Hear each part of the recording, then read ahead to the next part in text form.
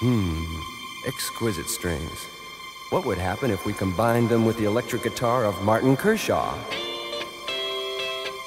Yeah, sounds good.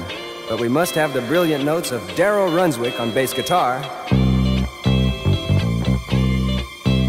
And don't forget the scintillating piano of John Horler.